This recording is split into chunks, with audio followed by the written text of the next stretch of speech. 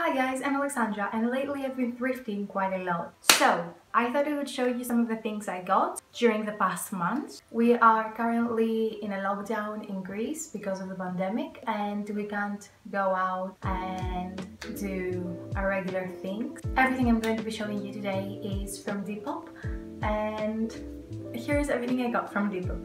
Yeah! I'm going to be starting off with a jacket.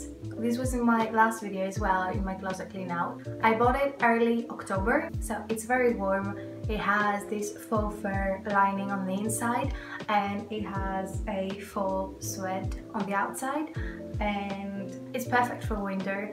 Um, the color scheme is more on the autumn side. I've worn it a couple of times already and it's currently one of my favorite jackets. No, it's my favorite jacket currently. Well, is the only jacket I own currently? I don't even have a leather jacket currently. But I should get a leather jacket.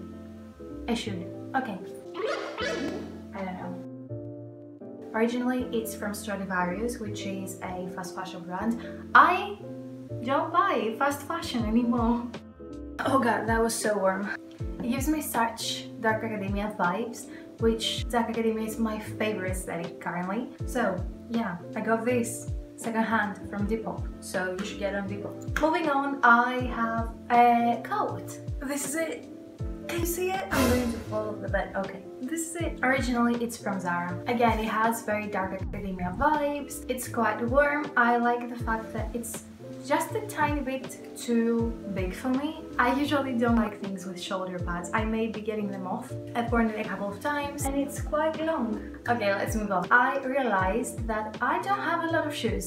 the shoes that I have are quite versatile, but thing is I've gotten tired of wearing the same shit over and over again for years, so I needed some new shoes. So I got not one, but two pairs of boots. This is the first one. These are so cute. They're completely black. They have a heel and they have a zipper. I really shouldn't be wearing shoes on top of my bed. They don't have any defects except for this one. This one has some scratches on the side, but I don't mind. I also got a pair of brown boots. I don't own any pair of brown boots that can be basically matched with half my wardrobe, so I needed a pair of that.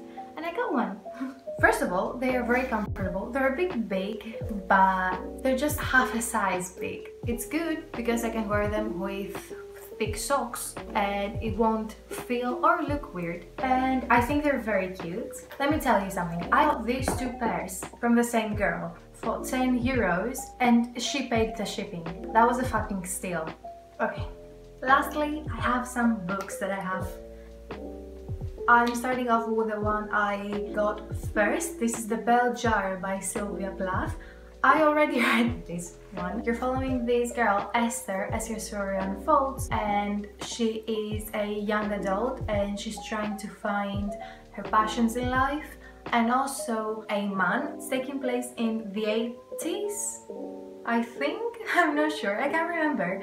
Um, half the book I was kind of bored and then like the other half I did not expect one bit. It did a full 180 and it was just very interesting to read. Now, let me say something. This is not a spoiler for the book. Well, it kind of is, but at the same time, it's not really because I'm not saying anything. Suicide warning. If you get triggered by mental health easily, don't read it. But if you don't, then you should definitely give it a read because it's very interesting, especially the second half of the book. I gave it, I think, a 3 or a 4 on Goodreads.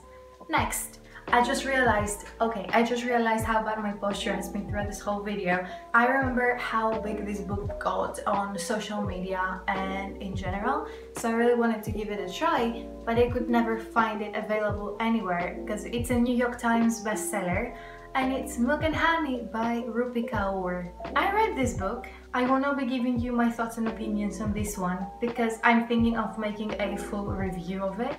Let me just say one thing. Let me is what you get. It's really pretty. That's all I want to say. It's really aesthetically pleasing and that's all I'm going to be saying for now because I'm thinking of doing a review. Next, I got The Ring by Koji Suzuki. I hope I pronounced that right. I haven't done any research on how to pronounce his name. I'm sorry if that was wrong. This is what the book looks like. I will tell you now that I did one day wake up in the middle of the night to have some water and I saw the book on my bedstand right here and it scared the shit out of me for a second and then I remember that it's a book. I will probably be doing a review on this one as well. I would really like to. So I'm going to say that it's a nice read and you should read it. It's really interesting. I have three more books that I haven't read. Next I got The Turn of the Screw by Henry James. This is the Greek version. Ah, I should mention that The Ring was in Greek, Milk and Honey and The Bell Jar by Sylvia Plath I read in English. This one is also in Greek. I haven't read it yet, I am very excited to read it. I've had compelling opinions. It seems to be very interesting, especially the abstract on the back. So yeah, I'm very happy to read that one. What it's Next, I got a book that I've been wanting to read for quite some time. I just, when I was in a bookstore, I would always forget to look for it. It's 12 Years a Slave by Solomon Northup. I hope I pronounced that name correctly. I mean, I don't see how else it would be pronounced. But if I didn't pronounce it correctly, I am sorry. And I didn't mean to offend anyone. First of all, the book itself has very big letters, so it's going to be very easy to read it. I think it's very important to educate yourself as much as you can on matters like slavery and feminism and, you know, social problems and to read books that talk about subjects like that. I will probably be doing a review of this one when I read it. I'm really excited for this one, so yeah. And finally, the last book that I got is The Sun and Her Flowers by Rupi Kaur. I only read like a couple of pages, like maybe 30 pages. It seems to be interesting. It also seems to be better than The Sun and Her Flowers. No, well, it also seems to be better than Milk and Honey. So, I got this book, this book, this book, this book. And why did I do it the wrong way? And this book, I got all these five books plus shipping for 28 euros. And the bell jar, I think I got for 4 euros? I'm not sure. So, these are all the things I got during the past month. Also, I forgot to mention some of the prices. This coat I got for 20 euros and this one I got for 30. I didn't pay shipping on the coat, but I did pay shipping for this jacket weighing. I just realized on the back of the collar it has leather. I hadn't seen that before. Okay, so yeah, that was everything. Thank you so much for watching and I'll be seeing you in my next video. Goodbye!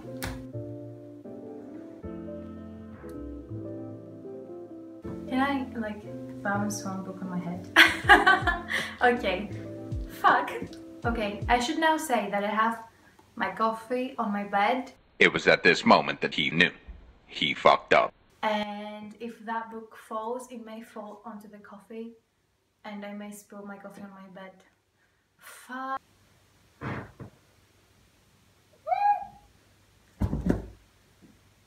Okay. Oh my god, that was so hard. Someone's on their balcony. Please don't see me. Okay, they didn't see me. Okay. Um. Ow. Ow.